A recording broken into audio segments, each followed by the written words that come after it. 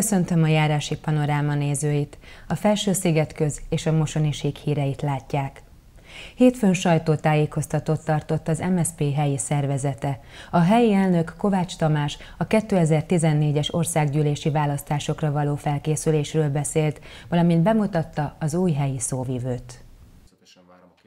Szentkuti Károly az SZDSZ korábbi helyi elnöke szóvivőként segíti a szocialista párt, valamint a baloldali összefogás munkáját, hangzott el a hétfő reggel tartott sajtótájékoztatón. Én úgy gondolom, hogy ez a politikai berendezkedés, ami kialakult most az Orbán miniszterelnök úr kormányzása idején az én ízlésemnek abszolút nem felel meg, és éppen ezért döntöttem úgy, hogy a legnagyobb demokratikus ellenzéki pártnak a szervezetét segítem itt Moson-Magyaróváron. Az MSZP országos választmánya úgy döntött, hogy az Együtt 2014 PM jelöltje indul a Győrmoson-Sopron megye 5. számú választókerületében. Egy olyan aspiránst állítanak, aki mind az MSZP, mind a baloldali összefogást szimbolizálja, aki mind a Szigetköz, mind a három város identitását képviselni tudja, jelentette be Kovács Tamás elnök. Öt jelöltünk van egyelőre, az MSZP-nek is voltak jelöltjei, tehát azt tudom elmondani, hogy demokratikusan választottuk a, az összevont taggyűlésen ezeket a jelölteket. Természetesen az országos választmány eldöntötte ezt. Amint sajtó nyilvánossá válik a személynek a neve, természetesen a személy megjelölésével, a párt támogatásával, ez október közepére várható, természetesen kiállunk, de még egyszer mondom, öt jelöltünk volt, Ezeket a jelölteket természetesen most nem szeretném ismertetni, mivel ugye van egy választmány, ez egy országos döntés. Meg kell oldani az árvízvédelem kérdését, kezdeni kell valamit a Dunakiriti erőművel, és támogatni kell új vállalatok kialakítását a Mosoni síkon. Olyan nagy üzemeket is támogatni kell, amelyek nagy mértékben hozzájárulnak a város iparűzési adójához. Jelenleg 170-180 busz áll a Künegyár udvarán, hangsúlyozta Kovács Tamás. Erősíteni kell János Somorja és Lévény városi pozícióját. Ezek egyelőre igencsak kisvárosok, fogalmazott Kovács Tamás, aki részletezte a baloldali összefogás jelenlegi állapotát. Mi úgy gondolkodtunk egyelőre hivatalosan, tehát amit a választmány előír számunkra, ugye, hogy az együtt 2014 a PM, illetve a MSZP Moson és környéke szervezete, természetesen a későbbiek során, ha az országos helyzet változik, akkor itt is alakítjuk a helyzetet. Ez ugye én úgy gondolom, hogy 2014 január februárjáig még változhat hiszen látható, hogy szoros és jó eredményt akkor tudunk elérni, hogyha a teljes baloldal becsatlakozik a, az együttműködésbe, hogy így fogalmazzak. Látható a bajai eredményen is, ugye, hogy nagyon pici szavazatszámmal kapott ki az összefogásnak a jelöltje. Én azt gondolom, hogy egy nagyon durva, kemény kampányra kell számítani. Itt Moson Magyaróvár eddig kivétel volt ez alól, és bízom benne, hogy a későbbiek során is így marad a dolog. A helyi szóvivő pedig a párt oktatásról kialakított álláspontját ismertette. Az is egy becsapás a kormány propaganda részéről, hogy 30%-kal emelkedik a pedagógusok bére, mert ugyanakkor ugye nő az órasszám, négy óráig bent kell lenni, a pótlékok külön nincsenek finanszírozva, és ezen kúl tantervet, egyebeket kell még írni, vagyis igazából amennyivel emelkedik a bér, annyival nő a munkateher is, sőt, hát majd kiderül októberben, hogy igazából ezek mennyire állnak arányban egymással. A pedagógusokat a béremelés, a családokat az ingyenes tankönyv, adócsökkentés és rezsicsökkentés segíti. Így reagált közleményében Nagy István országgyűlési képviselő, Szentkuti Károly az SZDSZ romjaiból a szocialistákhoz igazolt egykori, az oktatásért is felelős alpolgármester sajtótájékoztatójára. A szocialisták liberális segítséggel szétverték az oktatási rendszert, cserben hagyták a pedagógusokat, elszegényítették a szülőket és a gyermekeket. A baloldal kormányzása alatt 100 milliárdokat vontak el az oktatásból. Több tízezer pedagógus tettek utcára, több száz iskolára tettek lakatot és liberális kísérleti terepé tették az oktatást. Minden ötödik gyermek funkcionális analfabétaként hagyta el az iskolapadot. A fiatalok szakma nélkül és értéktelen diplomákkal hagyták el az oktatási rendszert. A Fidesz kormány átvette a kis települések iskoláinak fenntartásának terhét az önkormányzatoktól, ezzel iskolák százait és pedagógus állások tízezreit mentette meg. Szeptember 1-től 30-80 ezer forinttal nő a mintegy 150 ezer pedagógus fizetése.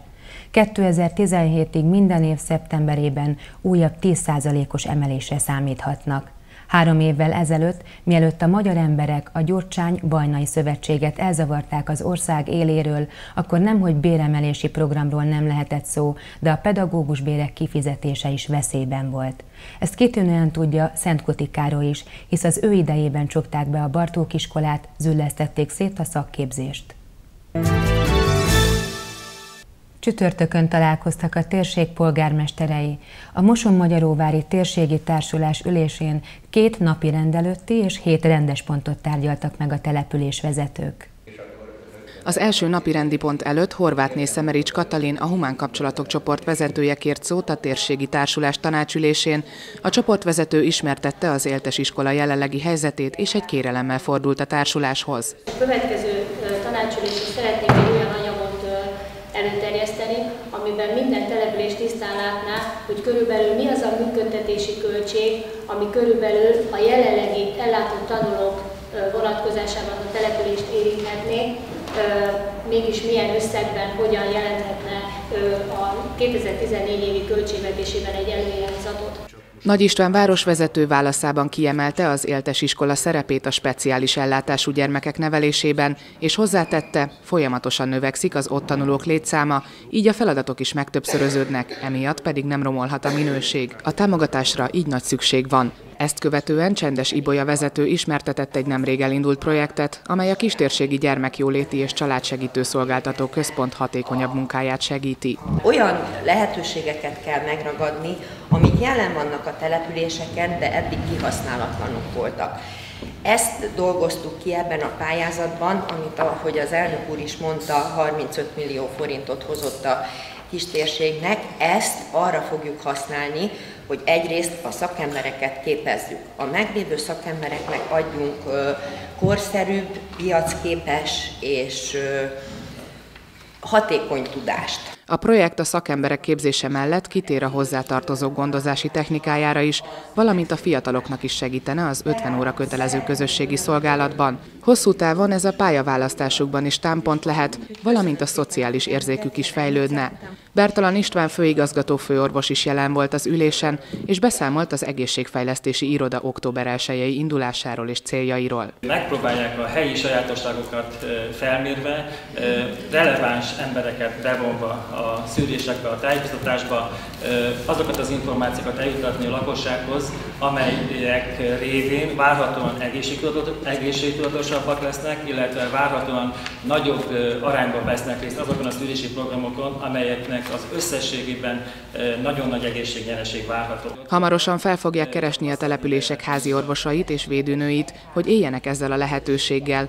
Szakál Pál oktatási dékán helyettes egy együttműködési megállapodás megkötésének javaslatával érkezett az ülésre, és kérte a társulás tagjait ennek támogatására. Az utóbbi időben pedig egy nagyszerű szerződést kötöttünk szintén a levéli önkormányzatta, ami nagyon-nagyon fontos számunkra. Ilyen szerződést szeretném, ha létrejönne önök között és a mi intézményünk között, hisz mindenféleképpen minnyánk érdeke, hogy egy nagy múltú, tradicionális egyetemnek a jövőjét tudjuk biztosítani, azt pedig csak akkor tudjuk biztosítani, hogyha minnyáján ebben részt veszünk. Mi nyitottá szeretnénk ebbe válni, és tényleg amit lehet a vidéki, tehát a kistérségi önkormányzatok, illetve városok irányába is ezt a kapcsolatot bővíteni szeretnénk, és azt szeretnénk, hogyha ez együttműködés keretében realizálódna. Úgy érzem, ez országosan is egy példaértékű. Nagy István polgármester kiegészítette az oktatási déken helyettes kérelmét azzal, hogy minden település a saját arculatának megfelelően alakíthatná a támogatást, figyelembe véve azt, ami nekik fontos.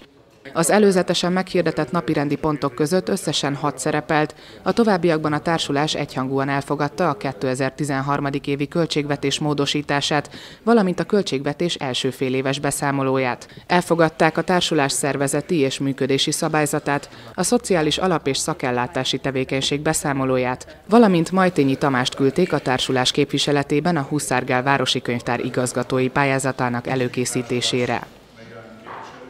Számos folyamatban lévő ügyről tájékoztatta Kismince polgármester Rajka lakosságát egy televíziós beszélgetésben.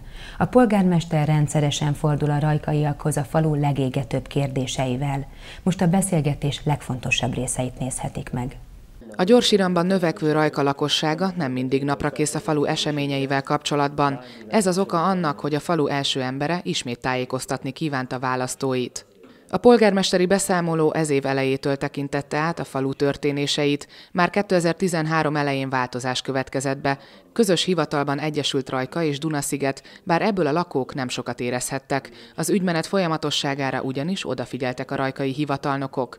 Megtörtént a falu rendeleteinek, az önkormányzat működésének teljes felülvizsgálata is. Az összes határozatunkat, rendeletünket úgymond átalakítottak az új önkormányzati törvénynek megfelelően, azok a rendeletek mind megalkotásra kerültek, amelyek a közös együttélésnek a rendezett feltételeit biztosítják, előírják annak érdekében, hogy, hogy ha az be van tartva, akkor egy jó lakóközösség alakulhat ki itt a településen, és, és gyakorlatilag mindenki jól érezheti magát a településen. Az önkormányzat legjelentősebb munkája ez évben a rendezési terv felülvizsgálata. Egy ilyen terv hosszú időre meghatározza egy település sorsát. Ez oly mértékű, így tetszett mondani, hogy olyan, hogy milyen változásokat tervez, ami esetleg 20 évre, vagy esetleg 100 évre is befolyásolhatja a település jövőjét. Hát az biztos, hogy amit 2006 és 2010 között műveltek, az száz évre befolyásolja a település jövőjét, mert gyakorlatilag a település méretének, több az eredeti település méretének a több mint kétszerelésére növelését engedi meg egy négy éves ciklus alatt. Tehát akkora lehetőséget engedtek számomra érthetetlen módon a vállalkozók részére. A 2006 és 2010 között engedélyezett építkezések ellen már nincs mit tenni, mondta a polgármester. Igyekeztek azonban rászorítani a vállalkozókat a falu javára cserébe elvégzendő munkákra.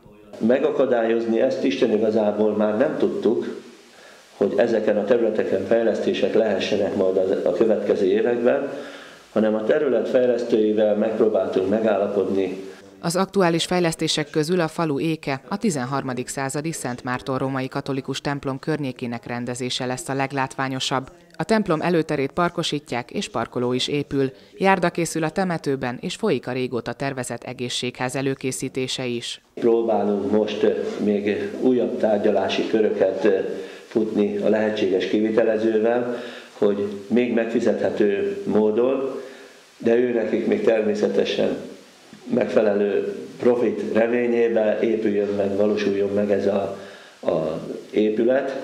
Bizony benne, hogy, hogy a közeljövőben pozitív hírekről tudunk beszámolni a lakosságnak, de egy dolgot tudni kell, hogy felelőtlen szerződést megkötni nem lehet. Kisvince elmondta, a beköltözőkkel való együttélés a falu fő beszéd témája mostanában. A méret növekedés dacára rajkát meg szeretnék tartani önmagának. Bár a középpont mindig is városias jelleggel volt beépítve, sőt régen mezőváros is volt a település, a faluvezetés még nem gondolkodik kisvárosiasodásban. Előbb a szolgáltatásokat kell rendezni, hangsúlyozta a polgármester.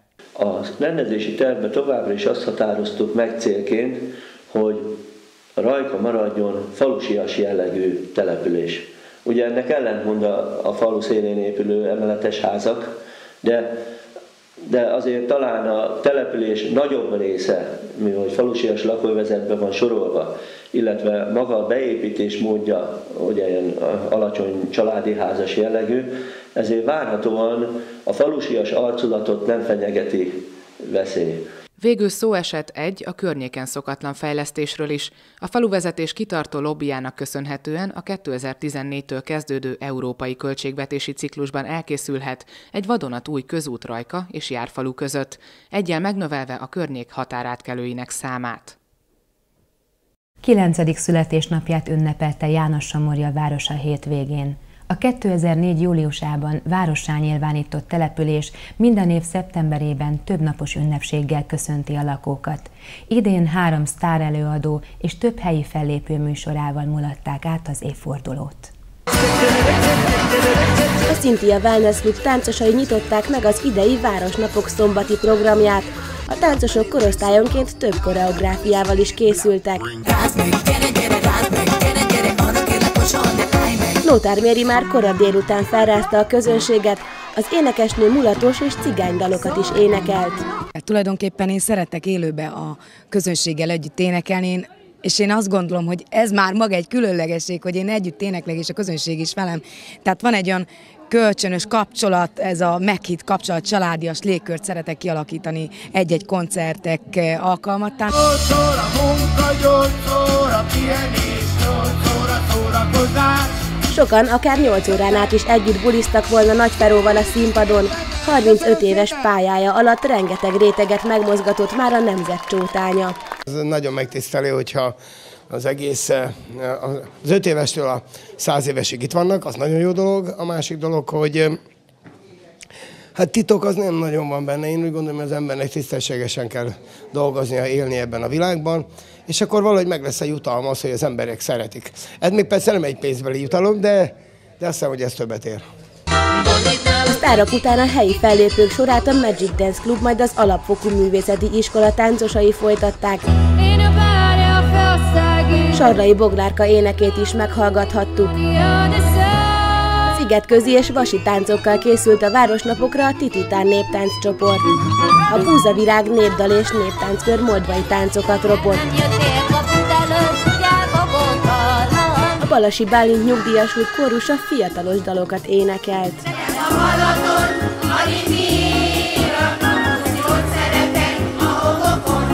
A dohánytestvérekre is sokan voltak kíváncsiak. Daniela másodikként Bernadett elsőként végzett a múlt heti Vármegye hangja énekversenyen Moson Magyaróváron. A résztvevők közül nem mindenki csak a fellépők csaltak ki a templom térre. Itt azért találkozunk olyan ismerősökkel, akikkel amúgy nem a munka vagy meló véget, és kijövünk, beszélgetünk. Itt találkoznak az emberek, itt, itt, itt lehet, hogy olyan, olyan akár szomszéd utcában lakóval is összefut az ember fia, akivel mondjuk már egy éve nem találkozott, és együtt hallgatjuk a műsorszámokat, együtt, együtt töltjük az időt, beszélünk, beszélgetünk. Természetesen nyilván a társaság, már előre azért megbeszéltük, hogy kijövünk, egy kicsit iszogatunk, egy kicsit beszélgetünk, csak azért mégis, hogy jól érezzük magunkat. Testvértelepülésünkről, Nagyfödémesről ismét kedves vendégeket köszönthettünk a rendezvényen. Nagyszerűen, nagyon szépen köszönöm, fantasztikus a vendéglátás, és hála Istennek az idő is nagyon jó, és nagyon jók a szereplők is, úgyhogy nagyon jól érezzük magunkat.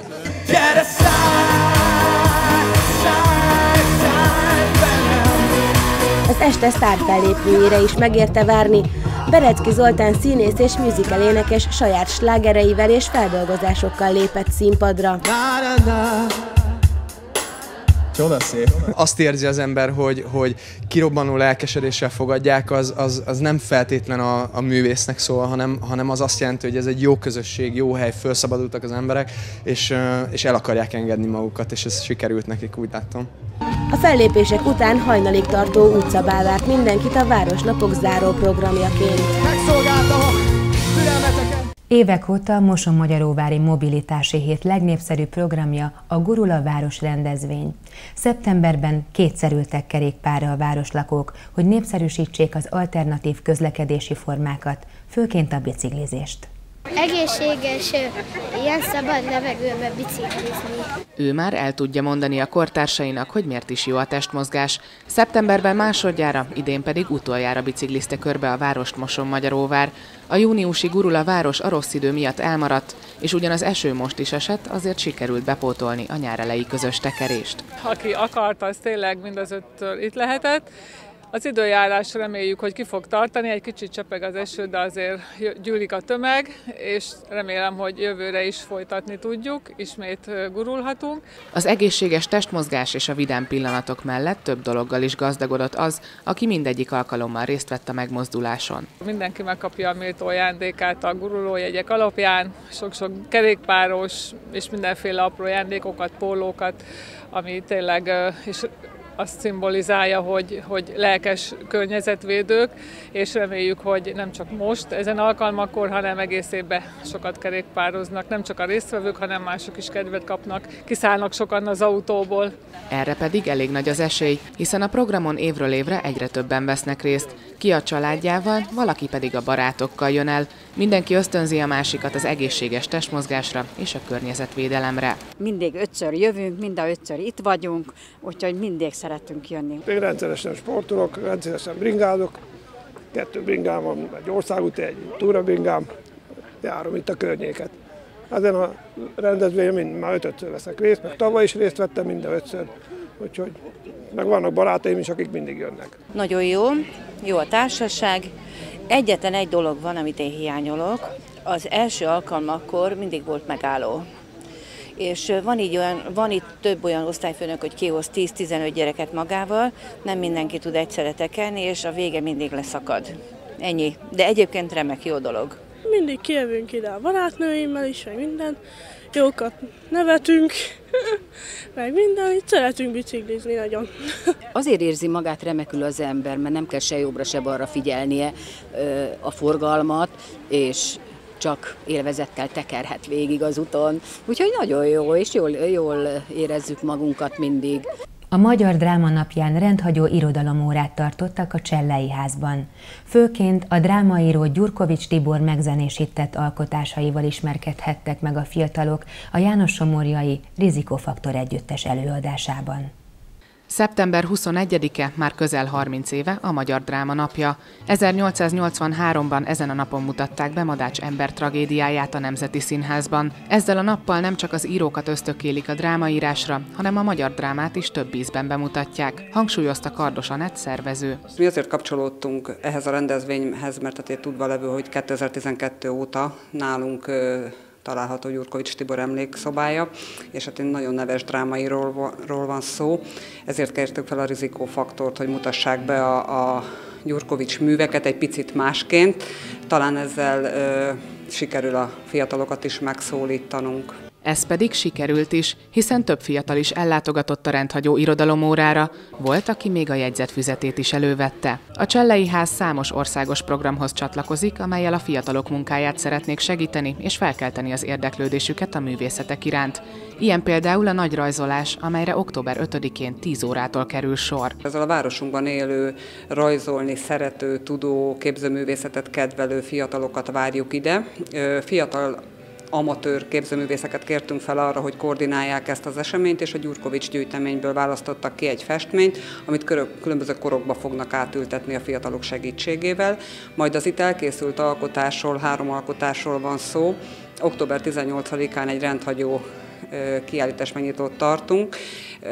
Este 8 órakor kezdődik a kiállítás megnyitó, és az Echo zenekart kértük fel arra, hogy működjenek közre ezen a kiállítás megnyitón reméljük, hogy fognak érkezni a fiatalok. A rizikófaktor zenészei Gyurkovics Tibor versei mellett ismert slágerekkel is készültek. És ezen kívül vannak saját számaink is, van néhány saját szám, azokból is fogunk játszani, illetve megpróbáltunk összefésülni olyan verseket és olyan számokat, amik egy-egy Gyurkovics vershez nem mondom, hogy hasonlítanak, hanem nagyon párhuzamosak vagy hasonló a mondani valójuk lesznek olyan versek, amiket ráhúztunk egy-egy számra, illetve összefésültünk más versekkel. Például lesz olyan, amikor egy Villon vers átfolyik majd egy Gyurkovics versbe, aztán az ismét egy Villon versbe.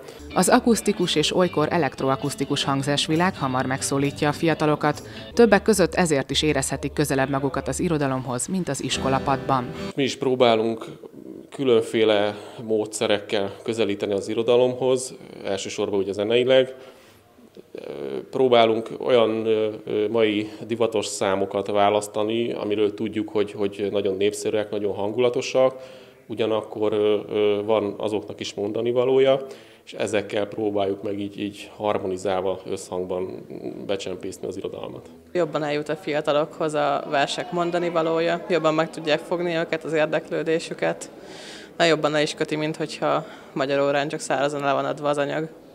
Persze ott is elő lehet adni érdekesen, de így mégis egy kicsivel jobb. A nézők között szép számmal ültek a fiatalabb generáció képviselői, akik érdeklődve hallgatták Gyurkovics Tibor, vagy éppen Márai Sándor Tom Waits alapján megzenésített gondolatait. Hogy hívják otthon a Károly körutat, micsoda nép az, iramot bírják, kiápolja most szegényem a sírját. Levegő viszi. A nap ragyog, Szent Isten, hol vagyok?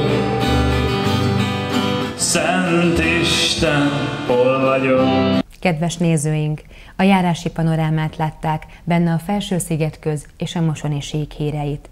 Térségi hírösszefoglalónkkal legközelebb egy hét múlva jelentkezünk. Munkatársaim nevében köszönöm figyelmüket. Viszontlátásra!